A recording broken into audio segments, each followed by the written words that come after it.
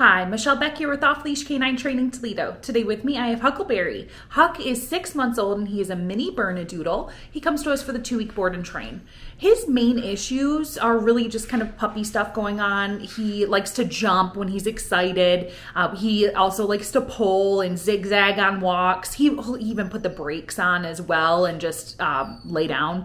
Uh, besides that, he does get excited and mows on his owners. He does tend to get a little separation anxiety when they are um, when he's not able to be like right next to them. So that's that's one thing that we'll be working on as well. Um, but Huck just needs to understand how to have some self control how to listen to mom and dad when, when they say commands, especially around those distractions. So check back with Huck in just two weeks and see how well he ends up doing.